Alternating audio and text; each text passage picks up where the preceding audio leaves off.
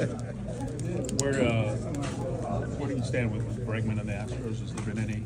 Um, Yeah, Dana and I talked about that today, and, and obviously, you know, Alex has made it clear that he's open and listening to whatever the Astros have to say.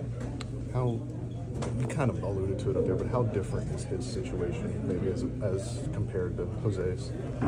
Well, you know, uh, Jose did somewhat of a bridge contract because of the first contract he signed, and uh, in uh, his uh, in Alex's case, obviously he's more in a normal free agency dynamic that you would see both age-wise. So uh, obviously that has um, more uh, uh, impact free agent market for valuation and length of contract and all those things. So um, that's that's something that you know he's a rather prestigious player because these guys that play here too.